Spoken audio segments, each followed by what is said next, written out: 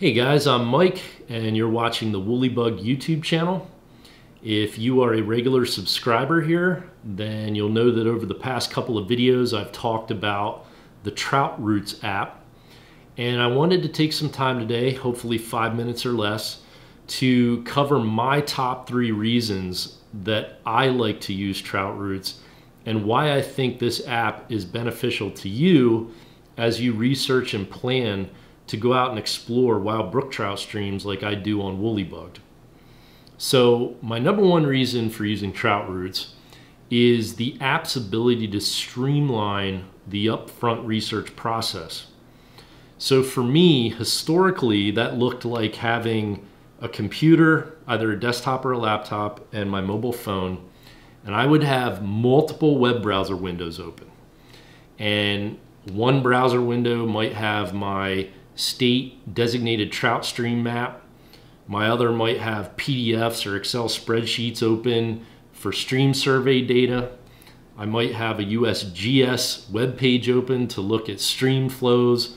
I might have a public versus private land map, a topo map, a state park map that shows camping or parking. You get the idea. And anybody who does this will sympathize with that. It's very time consuming. It's even more frustrating when you can't find the information you're looking for. And what TroutRoutes has done is they've simplified it by giving you a map in the app that you can layer on top of.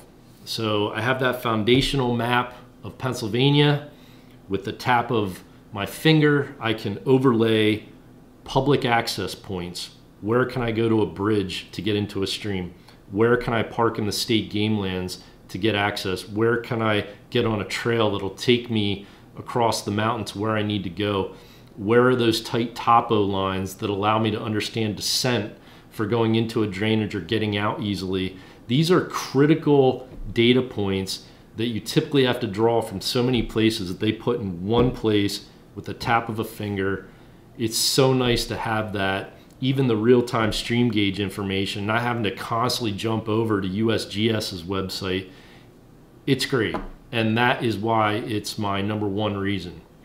My number two reason is the ability for TroutRoutes to bring your fishing maps offline. And this is huge because majority of the places I fish for wild brook trout in Pennsylvania tend to be very remote and I'm losing cell phone signal. And what I would do is I'd either have to take paper maps with me, which are bulky and when they get wet, they're ruined, or I take my iPhone and I'm using Google Chrome and the GPS feature that allows me to see basically where I'm at, but it doesn't give me the fine detail I need, like topo lines, like the names of tributaries or exactly where they're at. And when I got out there and I'd lose cell phone signal, if the game plan had to change, I would be in trouble if I hadn't screenshot things while I was in the research process. TroutRoutes comes along and allows me to take very detailed map info, layered map info that I've researched, that I've made notes about, and bring that offline so that when I'm out there, I have access to the same information as I had when I had a cell phone or internet signal and that is a huge benefit to me as well. It means when I need to make a plan B and make adjustments in the middle of my trip, I can do so. And it's been a huge time saver and backup plan saver. So that's number two. My number three reason is TroutRoutes offers the ability to document your findings within the app. And that's great because what I would typically do is come home from a trip and I would have to take the time to open up a Word doc or an Excel spreadsheet, put in the name of the stream, all the information and experience data, and it would be things like the width of the stream, the length, the number of fish caught, where they were caught, um, GPS coordinates, etc. All things that in the future might help me be able to go back to that place at the right time with the right conditions.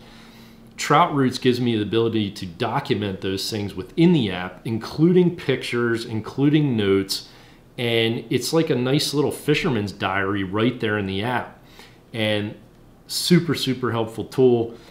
the thing that I really like, they went a step further and they said, hey, we're going to take a stance and not allow our users to share any of that documented information, like pictures, like stream coordinates or location coordinates, out to social media. So you cannot share from TroutRoutes out to Facebook or out to Twitter or out to Instagram. And I like that because I feel like that's where things would move into a place of spot burning. All their other information, is publicly available. They've just created a tool that assimilates it all in one place, but they won't take that step to what I would be considering spot burning. And I like that they've taken that stance. TroutRoutes has many other features. Uh, they have information about fly shops. So like if you're out running around and you need to stop to get gear or you wanted to hire a guide to better understand how or when to fish, they have a lot of fly shop information in there and it has a lot of neat filtering tools as well. So I would encourage you to consider TroutRoutes in your next planning session. See if it saves you time. You can download a free trial version. I have personally connected with Zach, their CEO. He's a good guy. He's a fly fisherman. He's building this as a tool to help you. They have a lot of great upgrades coming over the next 12 to 24 months that are going to make this app even more powerful. And I think it's just going to get better. Also, I really like that TroutRoutes this year made a commitment to Trout Unlimited. They're giving a percentage of their annual revenues back to Trout Unlimited to promote clean water and conservation of trout. And I also think that was really a right step in the right direction to make sure that everybody understands they're committed to this sport, they're committed to trout, and they're committed to doing it the right way. So, again, consider TroutRoutes. I appreciate you watching Wooly Bugged. And if you have any questions, please leave them in the comments below. I'd be happy to address them and or pass things back to the guys at TroutRoutes so that they can answer them, uh, especially if you have features you'd like to see, etc. So thanks for your time, and I'll see you on the next episode.